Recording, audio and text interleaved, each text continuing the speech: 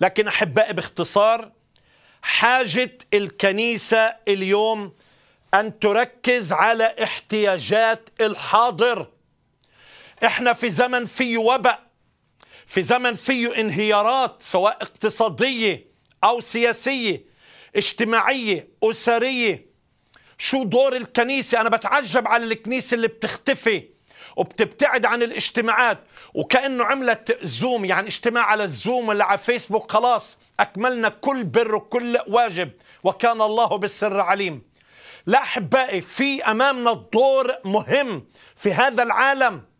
الكنيسة لها دور دور الإسعاف دور المدرسة دور المستشفى دور الكرازه دور الأخبار السارة انتشال الهالكين إطعام الجائعين. إسقاء العاطشين رجاء لليائسين عزاء للبائسين تعضيد لكل الساقطين. الكنيسة إلها دور كما بنهتم بالخراف وبالرعاية.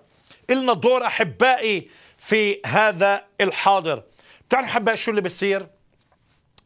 يعني إحنا بشاهدونا في كل أنحاء العالم.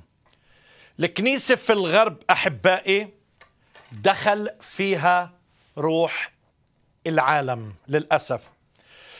كل الأنظمة في الغرب يعني كل الأنظمة سببت تعب سببت إعياء شديد سببت تعب روحي عم بتسبب الهموم عم بتسبب الضغوطات وهي وضع الكنيسة.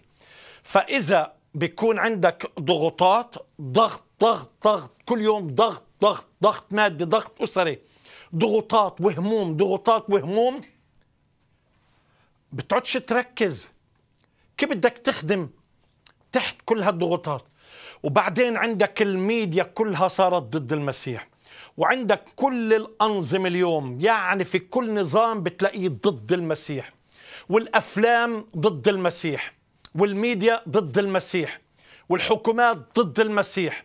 والأنظمة ضد المسيح. كل شيء عم بيتحول. طب ولو هو ما فيش ديانة تانية يشتغلوا عليها إلا بس المسيح؟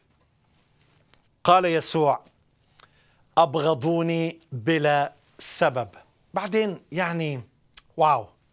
يعني الرب يسوع المسيح فعلا لو ما قالنا إنه راح يضطهدوكوا راح يستهزئوا فيكوا راح يقتلوكوا راح تكونوا مزدرى راح تكونوا يعني وسخ العالم مثل ما قال بولس وكل هذا عم بتحقق. هاي من ناحية الغرب. خلاص يعني كتر الضغط بحول عينيك عن النظر إلى يسوع المسيح. طب وشو معنا في الشرق؟